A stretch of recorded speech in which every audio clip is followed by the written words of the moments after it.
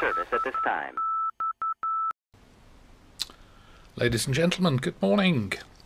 Name is Bruce, call sign G4ABX. Today we're going to build a filter.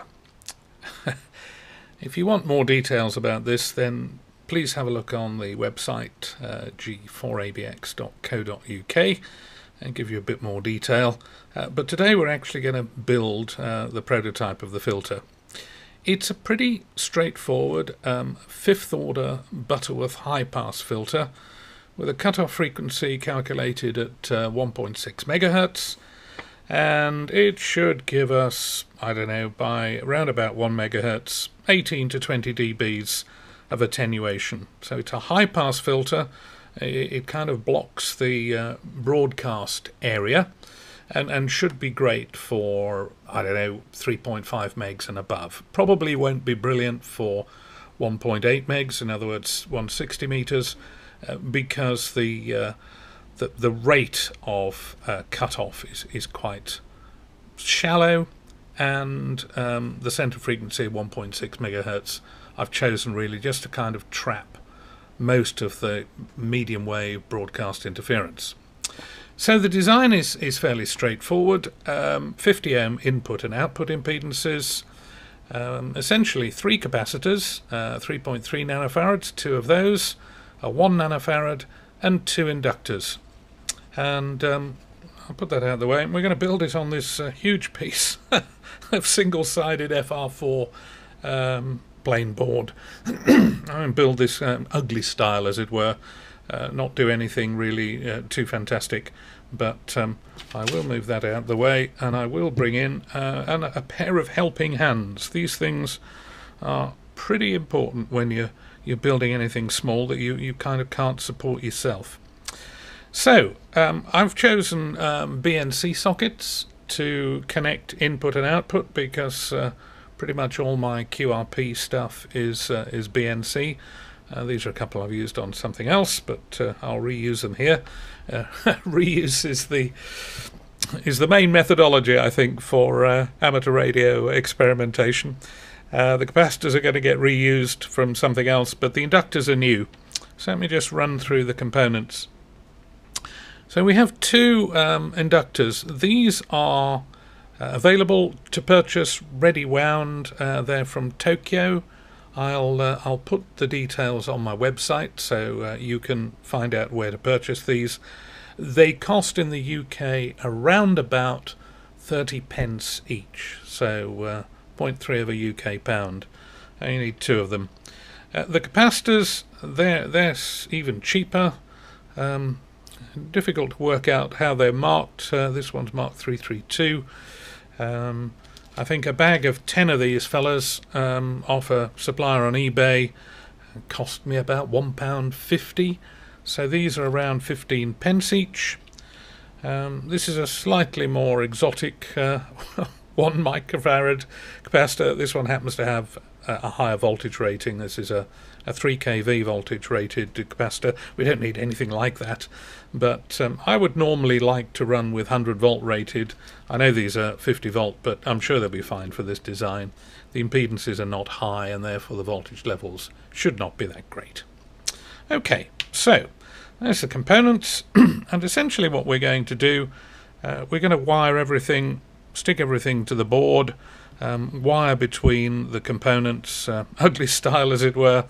Um, not worried too much about uh, the wonderful. Uh, there's no printed circuit board here, so we're just literally going to solder stuff onto the printed onto the uh, laminate itself, and um, we'll uh, we'll see how we go.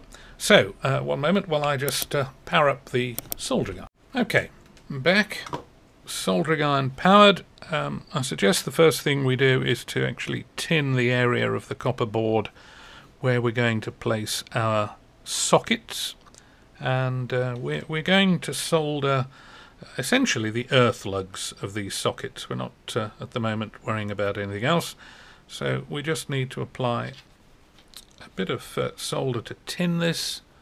I'll bring that into shot. Um, it, it's always advisable, it's also advisable not to hold the darn thing with your fingers. because uh, as I'm tinning the lug that's screwed to the body, uh, it might actually get quite warm.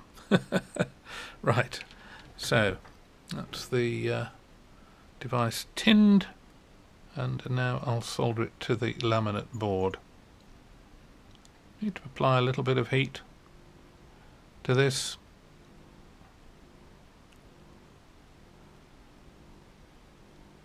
Hold it till it's gone off. There we go. Um, I'll turn the helping hands around. These are a great investment. They they cost literally a few pounds. I think five pounds or something like that, but uh, they do make life a lot easier. So I'll tin up this as well. Lots of smoke.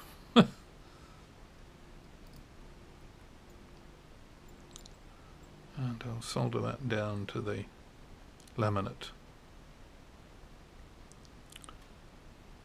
Okay, so that's the first part done. I'm just going to tidy up the hot connections, as it were, of the uh, BNC socket because we'll be needing those shortly. Um, and now, really, the decision just let that cool down because it uh, it won't be cold. The decision really is is whether or not to simply um, place these inductors ça on the copper substrate, um, maybe with a spot of superglue and then wire between them. That's probably what I'll do. Uh, we're not really that worried at um, these sort of frequencies about keeping leads incredibly short. Um, short is good, but uh, they don't need to be crazily short. So I think um, I think this is what we'll do.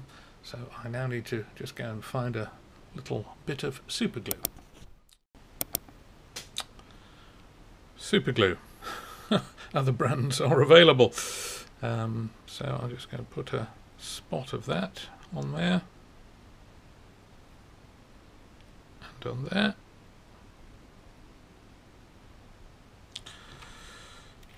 And uh, we'll leave those uh, to, I think, uh, go off. Shouldn't take them very long. Right, so the task now is to, as it were, join the dots. So our circuit has um, two 3.3 nanofarads connecting to the top of the coils. Um, and between the coils is a 1 nanofarad. So these are the devices, uh, these are the components, capacitors I'm going to use uh, to connect to the top of the coils uh, from each of the BNC sockets. And uh, we just have a measure out the length that we need. It's probably going to be fine. Start firstly with the element that's going to give you greatest support. Uh, tin the lead of the component and solder this to the hot terminal, as it were, of the BNC connector. Okay, connection number one. Um, let's do the same with the other capacitor. Just check the length, yeah, same. So trim up the leads. Um, you will notice all kinds of horrible, nasty little bits of cut wire, soldered wire, so don't forget to clean up. Um, I'm fortunate in that I, I have a shack uh, that isn't in the house, and therefore I have a little more leeway as to when exactly I clean up. But generally, after I've built anything, uh, cleaning up is uh, is really important. Right then, let's solder this capacitor on.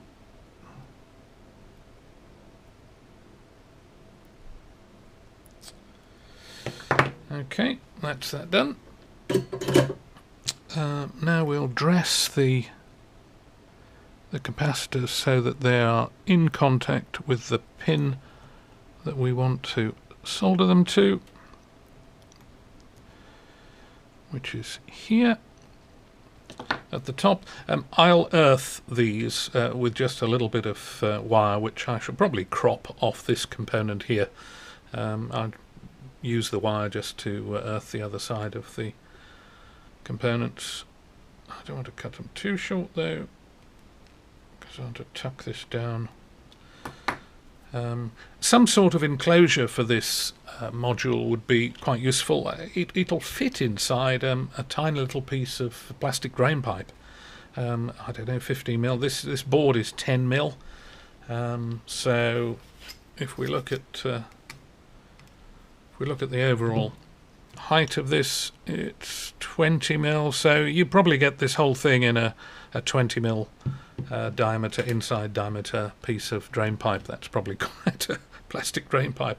That's really quite a good way to do it. Um, so now then, this is the one nanofarad, which is the coupling capacitor that runs between the top of the two inductors. Uh, again, tin its leads.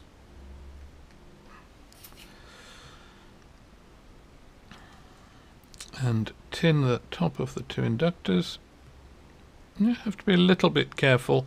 You don't hold um, the soldering iron on for too long, otherwise you might melt the uh, plastic former that's holding the wire on the inductor, which would not be great. Um, don't try and do two things with your soldering iron still in your hand. Otherwise, I guarantee at some point you'll burn yourself. So uh, put the soldering iron back in its in its place while you dress the other leads to be precisely where you want them to be.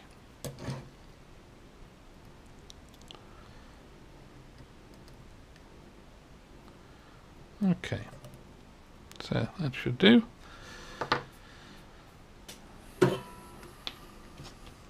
And then simply apply solder to the joint. Job done.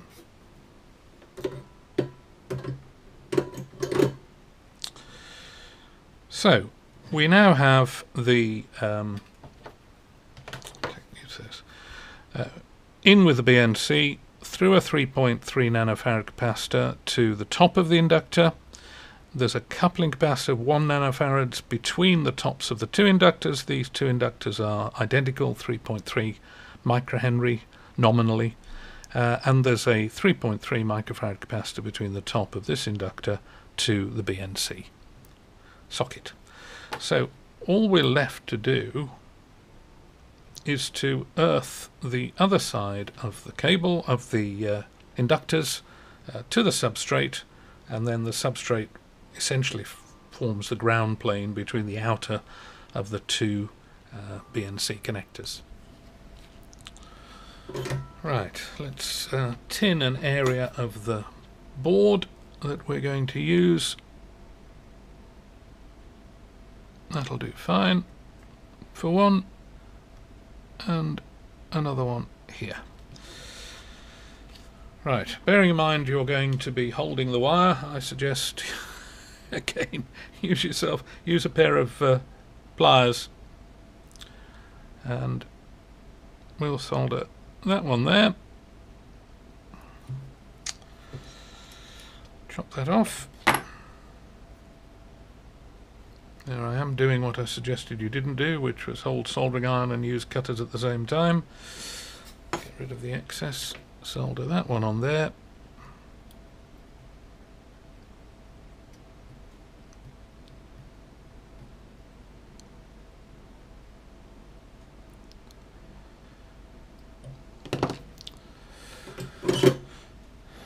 and now we want to dress these essentially earth connections up to the inductors.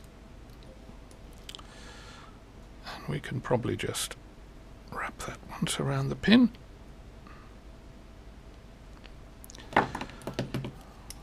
Trim off the excess in a moment. Do the same with that one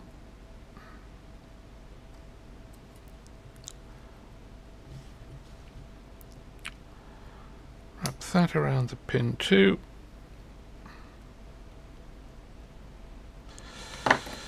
Um, I'm just going to trim off the excesses here.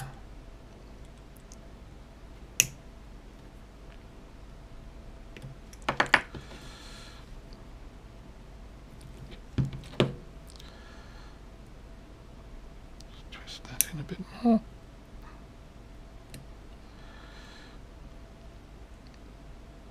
They don't need to be a, a there doesn't need to be a good mechanical connection here, but uh, as I got a bit of spare wire and solder one and two.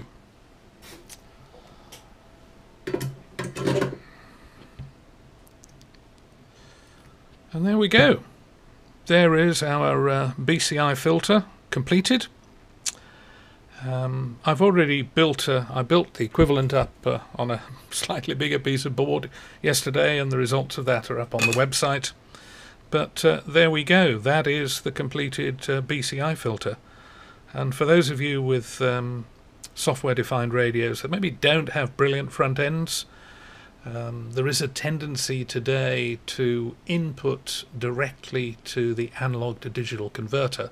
That gives a much broader bandwidth, of course, for the input of the SDR, enables it to cover much more frequency range. But the downside is if you've got very strong, say, medium wave stations not far from you, the tendency is for those things to overpower uh, the frequencies that you're trying to listen to. So, what this does, this is called a high pass filter, this essentially eliminates or dramatically reduces the power of those broadcast filters. So I, I will now run this up on the um, computer. I'll run it with my uh, VNA, um, which is the uh, network analyzer, and we'll just make sure that we get the correct plot.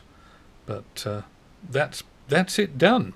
And uh, as you can see, that can quite easily. I mean, you could even just put a piece of heat shrink sleeving over it and um, shrink the whole thing, uh, and that'll be robust enough. That's not going to go anywhere uh, unless you tread on it, um, you're probably not going to do this any damage.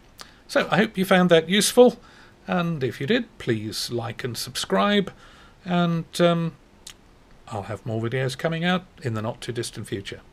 Thank you very much indeed. And I hope you all have a great day. 73.